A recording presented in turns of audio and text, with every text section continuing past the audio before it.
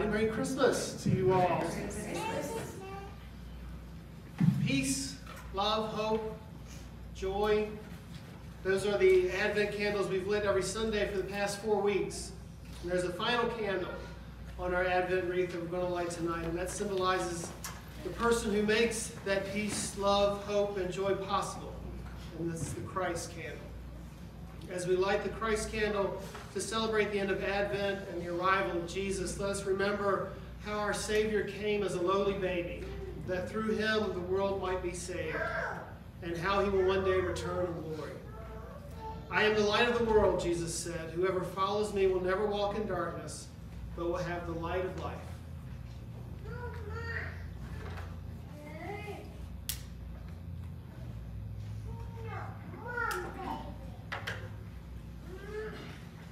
We bow your heads for our opening prayer. Lord, on this Christmas Eve, we pause to prepare our hearts for a most beautiful celebration. Your birth and coming to earth as our Lord and Savior, Jesus Christ. Clear our minds so we can focus on you and the joy that you bring us through your gift of salvation. May the same thrill and anticipation that filled Mary, the chosen mother of Jesus, consume us and draw us close to you. May our spirits cry out, Alleluia, with a host of the angels who first delivered the good news of great joy to humble, awestruck shepherds that night so long ago. Emmanuel, God with us, Prince of Peace, Son of God, Messiah, may all that you are fill our hearts with gratitude and worship as we bow this evening before you and offer our prayer to you. In Jesus' name, amen. You'll need your hymnals tonight. There should be one close by. I'll invite you to stand as we sing our first Christmas hymn tonight, O Little Town of Bethlehem. We'll sing the first and the third stanzas.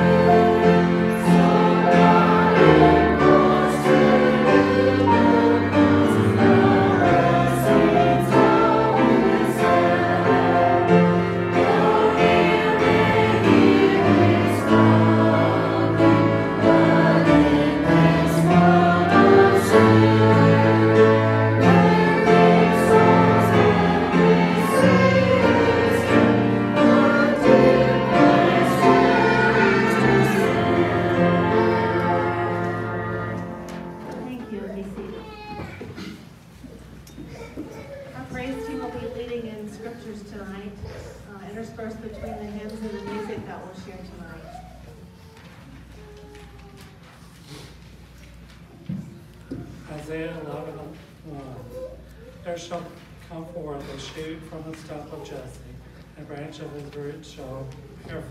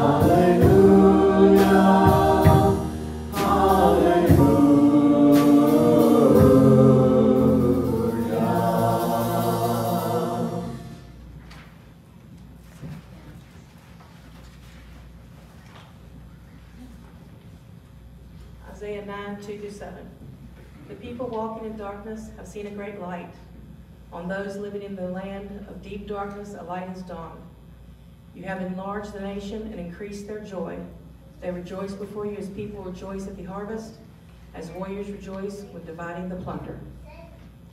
For as in the day of Midian's defeat, you have shattered the yoke that burdens them, the bar across their shoulders, the rod of their oppressor.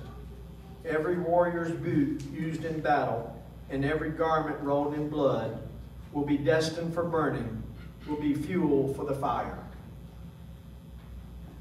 For to us a child is born, to us a son is given, and the government will be on his shoulders.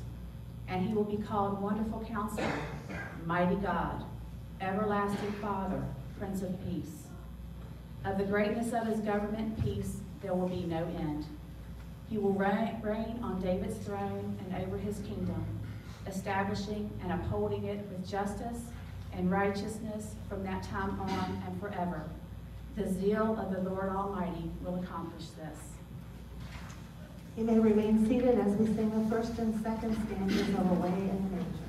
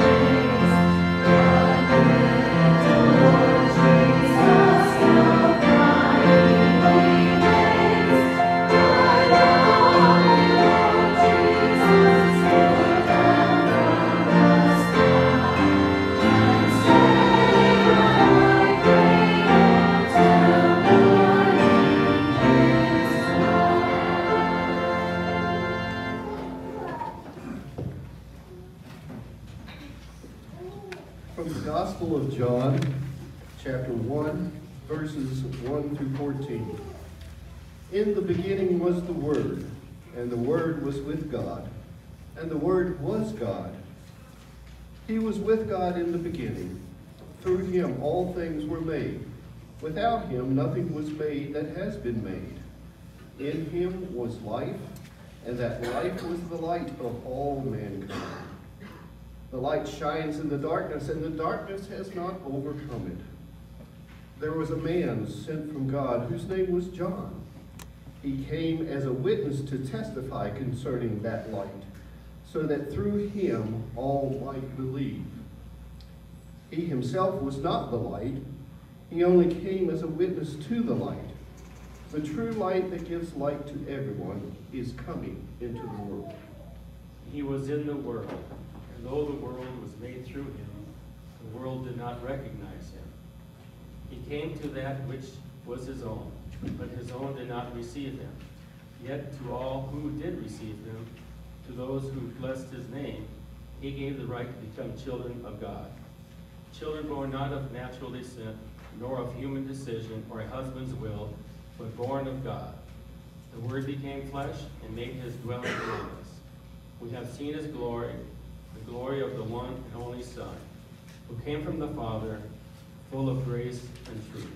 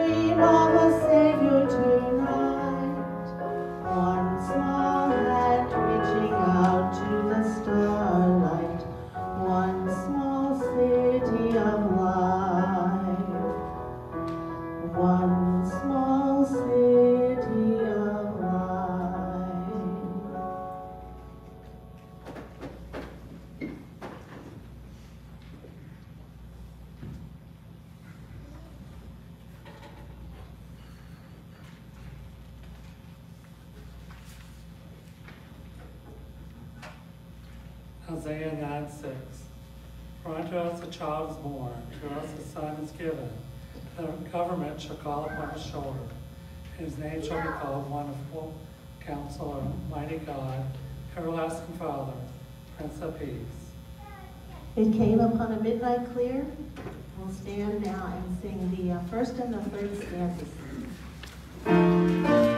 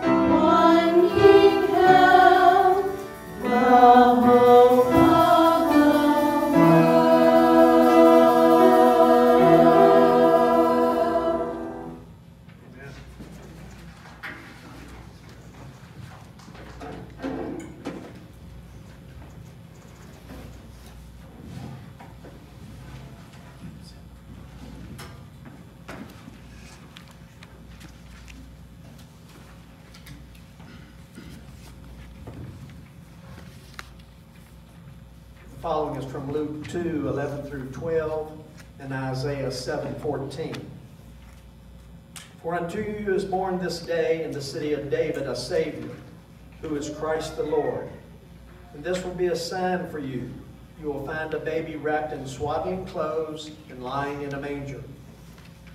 Therefore the Lord himself will give you a sign. Behold, the virgin shall conceive and bear a son, and call his name Emmanuel. Silent night. Let's sing together, all four stanzas.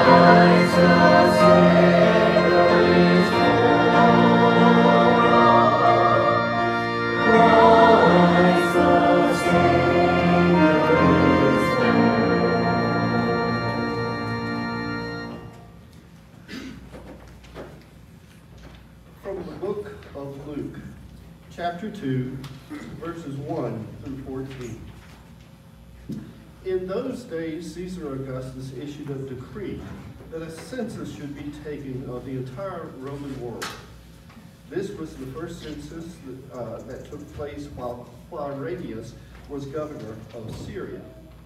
and everyone went to their own town to register. So Joseph also went up from the town of Nazareth in Galilee to Judea, in, to Bethlehem, the town of David, because he belonged to the house and the line of David. He went there to register with Mary, who was pledged to be married to him and was expecting a child. While they were there, the time came for the baby to be born, and she gave birth to her firstborn, a son. She wrapped him in cloth and placed him in a manger, because there was no guest room available for them. And there were shepherds living out in the fields nearby, keeping watch over their flocks at night. An angel of the Lord appeared to them, and the glory of the Lord shone around them, and they were terrified. But the angel said to them, Do not be afraid. I bring you good news that will cause great joy for all the people. Today in the town of David, a Savior has been born to you. He is the Messiah, the Lord. And this will be a sign to you. You will find a baby wrapped in cloths and lying in a manger. And suddenly a great company of the heavenly host appeared with the angel, praising God and saying, Glory to God in the highest heaven, and on earth peace to those on whom his favor rests. The songs that we've sung tonight have been um, focused upon that precious baby, Jesus, that was born in a manger. This song uh, invites us each to reflect upon the fact, uh, the question rather, have we made room in our hearts for Jesus Christ?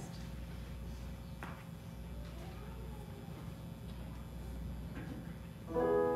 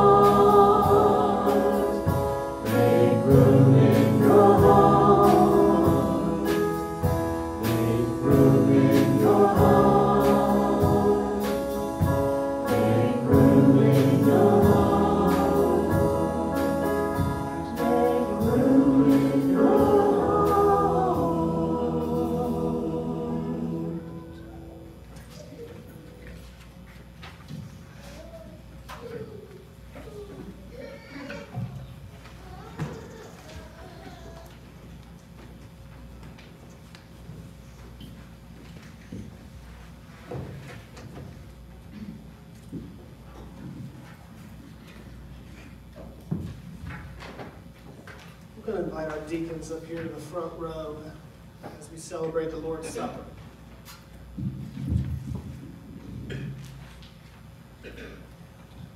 Christian tradition says that Jesus and his disciples celebrated the Last Supper on the Thursday before his arrest.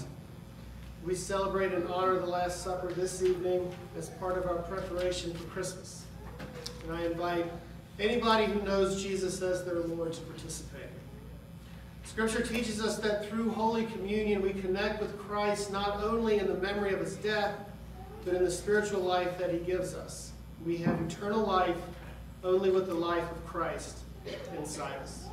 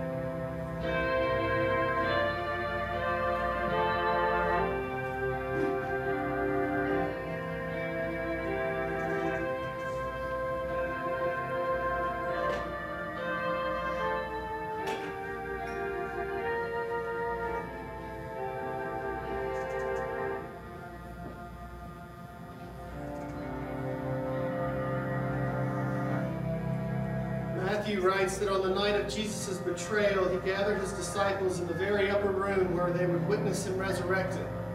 Each of the twelve were there. And as they were eating, Jesus took the bread, and after blessing it, broke it and gave it to the disciples and said, Take, eat. This is my body.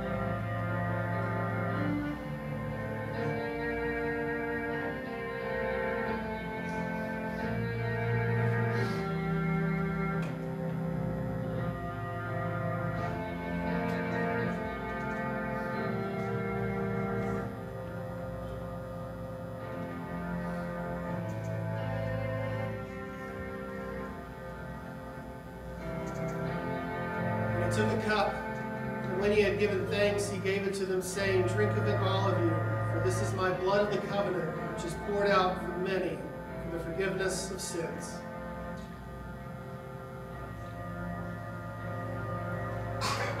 By him we are made one with him, by his blood we are made eternal. Amen. Every Christmas, uh, we celebrate the birth of a baby boy who would grow up to become the Savior who once said, I am the light of the world. The first task of every Christian is to share in that light by receiving it first from Christ and then sharing it again with a darkening world. As we sing our closing hymn tonight, we're going to symbolize the sharing of that light with candles. Everybody have a candle? Who needs a candle? Anybody need a candle?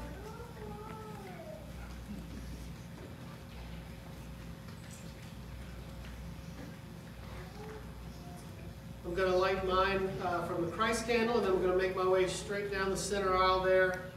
And I'll light uh, the candles of everyone on the ends. And then you turn to the person next to you and you share your light with them. And when every candle has been lit, we'll join in singing two stanzas of O Holy Night. Um, The the text is written in your bulletin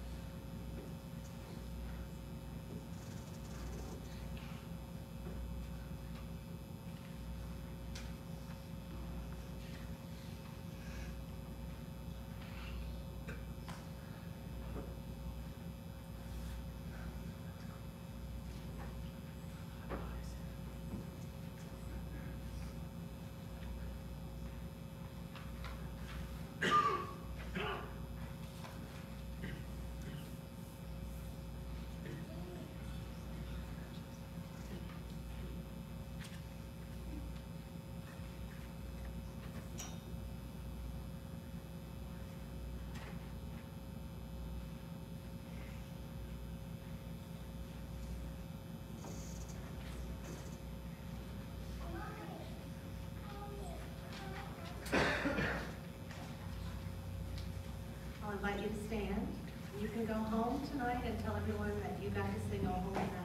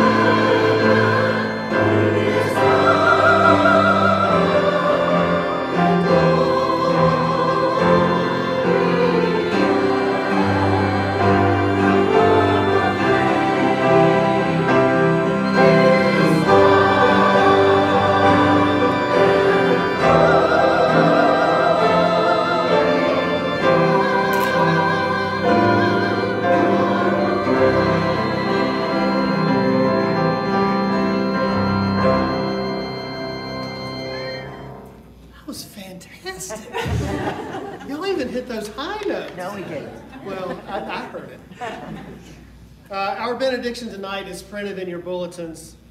Would you read it in unison with me as we close? Lord, Have mercy on us.